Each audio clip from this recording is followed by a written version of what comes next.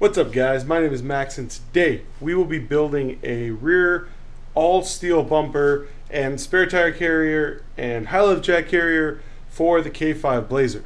So if I bring you over here, we have removed the stock bumper. We're gonna use these factory mounts so that we can incorporate this. This is, these springs help lower the tailgate down slowly so it doesn't slam, break the glass inside. We're gonna reuse these mounts uh, so the first thing is we got to cut a quarter inch plate to match with this and give us kind of a flat vertical angle. And then we can start building the bumper. We're going to use the same kind of design that I used on the front bumper, but uh, let me show you guys this up here. Saw us build this in the last video. Um, the only difference on the rear bumper is on the front. We cut um, two inches up to give the front approach angle as much space as possible. On the rear, we will be um, only removing one inch uh, at the side. And the reason for that is because the spare tire carrier has got to go here and it's kind of beefy and we want to give it as much kind of uh, meat and muscle to bolt into as possible um, because it's got to support quite a bit of weight. We're only running 33s right now but we should be able to run a 35 inch tire in the near future and the carrier should be able to carry up to a 37 inch tire comfortably uh, based on weight. And the way I'm going to do is I'm going to do basically a half carrier on one side and we're going to leave the other side blank for now um, but in the future potentially we'll be adding a second carrier maybe for jerry cans and fuel or, or something else. We'll see. Um, so first thing is we got to build some bumper mounts. Um, and for that, it's nothing more than uh, a little cardboarded design and uh, cut out some quarter inch plate. So we got our plates drilled out. Um, I can put three bolts in here. Um, and this actually curves down quite a bit. You can see it sticks a little bit more on the other one. These are now vertical, so we can basically go and cut our um, bumper plate and I decided on 75 and a half inches total width which should take me right out to the edge of the body line and um, should be should be pretty good. Um, we want this one to be a little wider than the front uh, because it's got to support that that hinge system. And unlike a Jeep so a Jeep's tailgate is like here to here on this truck, it's a full-size tailgate like a, like a pickup truck has. So we really got to make the most of these like four or five inches um, that we have on the outside for mounting uh, that bracket. So we're going to do a full width bumper, 75 and a half inches. Um, but that way it shouldn't protrude and so it won't get caught on stuff. So if you're like scraping the side, you won't get you won't get caught on a on a tree or on ground or anything. So these were basically just 5 by 5 uh, quarter inch plates that we cut and drilled out. Um, now I'm just going to get the chop saw and cut down the, uh, the bumper section. So we ended up doing a 76 total length and I decided not to cut this down. We're going to use the full width because there's no approach angle from the rear unless you're off-roading backwards. These are our frame mounts. They're uh, wider. I think they're like 34 inches wide uh, compared to like 26 the front or whatever it was. Um, and so we're going to move these inboard. This is where our, our um, shackle points are going to go. Uh, in the middle here, we're going to put this. This is a standard receiver tube. We're going to cut this down dramatically. I think this is 18 inches. We're going to cut it down to 8 or 9. Basically 4 inches in front, 2 inches in the rear so we can gusset it. Um, this is our uh, wiring for the trailer, uh, potentially brake controller and so on. We're going to weld uh, chain loops under here. It's just so that there's any trailer chain. This guy, so I'm going to get the plasma cutter and just start going to town on, on cutting these things out. Um, there's really not a whole lot to it. If you don't have a plasma cutter, you can use a cutoff wheel and, and basically just drill out the corners uh, to give yourself a smooth, uh, a smooth cut. Um, there's any number of tools that you can use, but uh, this my little $200 plasma torch is, is by far uh, my favorite tool for going about this kind of work. So here's our kind of final cut. We have our receiver, our electrical plug. We're gonna drill another hole in the backside for the wires. We got our uh, D-ring shackles, and then after this, we'll mount the bumper to the truck, and then we can figure out where we're gonna put our spare tire carrier, stuff like that. Uh, but first, I'm gonna weld these in, cut this down, weld this in, um, just kind of get some of these basic things uh, in place. Now I went ahead and welded on these mounts. Um, we may gusset them in the future, um, but I think for now, quarter inch plate double welded is good.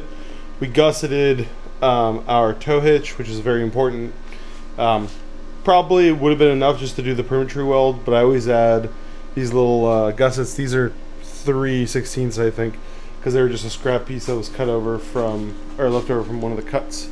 So next comes the interesting part where we got to install this guy. I believe this is an inch and a half diameter. Basically, I went two inches in from the outside, dead nuts in the middle. We're going to plasma cut out holes on both ends. We're going to leave about an eighth of an inch exposed. Cut this rod down to four inches. Um, and then basically fully weld it here, here, and then probably um, do some welds on the inside here where we can reach before we plate this up uh, and, and close it. So that's kind of all there is to that. Once that goes in, um, we're probably going to mount this whole assembly on the truck and then begin building the actual spare tire carrier from there.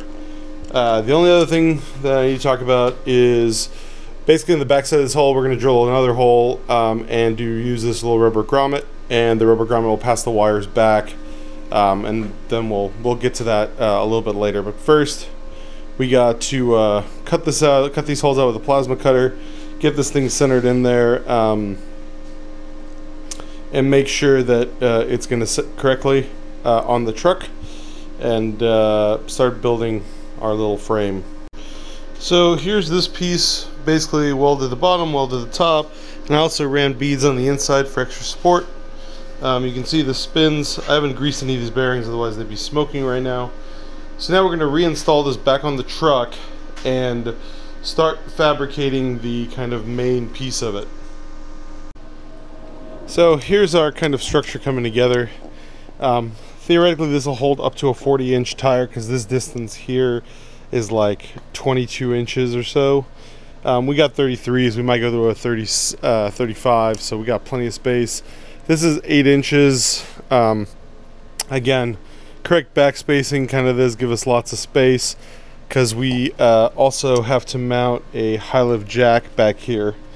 So, kind of the next step we got is um, need to cut some reinforcements, some gussets, and weld all that in and kind of finish weld this. Um, and then I'll have to run to the part store because we're going to need some half inch studs and um, uh, lug nuts so we can mount the plate to here.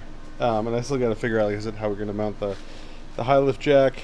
Um, but all coming together uh, pretty smoothly here. So here we go.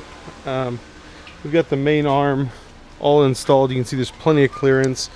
This is our high lift jack. We're going to basically mount it like such. So let me see if I can pick this up one-handed without dropping anything heavy. Basically the high lift jack is going to mount like that. We're going to build a, a base plate here. Um, to kind of keep everything kosher and on this end we're just going to do a cross brace We're going to do a, a, cross brace on both but they have to be kind of small because they've got to clear uh, the jack foot on this side um, we'll see maybe we'll move this out slightly like that to keep the angle kind of minimal um, so that's kind of that. Seems like we're coming through pretty good here. So here's our high lift jack mount. Basically we have a plate here with a removable pin and then another plate with a welded in removable pin and this will be welded and then gusseted down uh, so it can't move. But this can move around a little bit in here but it uh, shouldn't go anywhere. and in the future they this is a standard half inch pin here so I can actually replace this with a special half inch pin lock if I'm going somewhere where I'm worried stuff like this gets stolen um, other than that looks pretty good I just realized I didn't finish weld here and here so I need to do that. We've added caps to the bumpers caps to the uh, to the um, spare tire hitch. So I think the next thing I'm gonna take this off get it finished welded um, and then I think the next thing we're gonna do is we're going to set up this latch um, and weld up the actual uh, uh, bumper itself and install our wiring. I'm probably not going to wire this immediately because uh, I don't have a need to pull the trailer in the next few days. And um, I want to paint these things but I do want to get everything uh, basically all the metal work finished today mocked up and welded. Um, it looks pretty good. And as you can see we have space here on the left hand side if we want to add another swing a smaller swing arm with like jerry cans or something. Can do that as well as adding like a shovel or some other tools here. We have a, a fair amount of space back here. Um, so it's looking pretty good. It's coming together pretty well. All right we're finally nearing the end. Let me catch you guys up on what I've done here. So we're using one of these locking latches. It allows a little bit of movement but not a lot. And you just pop that. Now this whole thing swings uh, on one finger which lets me show you this other feature we've added is this pin stop. And what it does is allows me to do that. Now this is locked all the way open. I can open the tailgate without worrying about the weight of that. Swinging back if we're opening it on a hill or something I can basically swing it all the way open and uh, not worry about anything getting damaged. Um, this guy just got welded on. Um, I'm actually not going to install the plug yet. I drilled out the backside here to allow the wires out. I've also added these hooks. This is for trailer chains um, we've greased and tightened this down added this cap um, nothing super special there here's kind of the backside of our high lift jack um, as you can see, it's pretty well secured in place. I might add another uh, set pin here just to prevent it from being able to move around quite so much. Um, but right now it's like, it won't leave. It just might be a little bit noisy. So all that's left is we're gonna add our license plate here um, I still need to do license plate wiring uh, for the light as well as for the towing stuff. Um, but it's about a thousand degrees out here, so I'm just gonna finish up the bare essentials to go off-roading tomorrow, which is putting license plate back on the truck. Um, and I'll show you guys how we do that, just real basic little mounts. Okay guys, let me show you the finished product. Here we go, we got our shackles on, we got our tire on. Um, I might add another stop pin. This doesn't seem like it's gonna bounce off, but uh, uh, if it's kind of loud, we may end up having to fix that. But other than that, you can see the, whole design looks pretty good. The tire is solidly mounted. Um, so if we take this, it's one hand operation, swing it out, bring it all the way out, pop that pin, boom. And now she's uh, she's locked in. We can open the tailgate. We can open the tailgate and ah cock apparently I didn't measure quite well enough um, but I'm pretty sure we're gonna be able to shave that to make it work it's lame um, I knew something would, would come back and get me but all in all, looks pretty good. Uh, eventually I need to add something to protect the gas tank here in the back um, from like a drop off or something like that. But, uh, and we need to add lights. But for a first round, it's pretty good. Um, I think I'm going to cover it in black bedliner product uh, that I have laying around the front and the rear. But I'll do that sometime next week. It's not a, not a big thing. So I hope you like the video. If you like the channel, if you like the video, hit the like button. If you like the channel, please subscribe. Uh, check out our other K5 Blazer build videos and the other playlists and all the other cool videos on the channel. Uh, if you have any questions, comments, leave me uh, a note down below. Check out the Blazer Excel sheet if you want to find uh, Amazon links for any of these parts. Uh, I love you guys. Peace.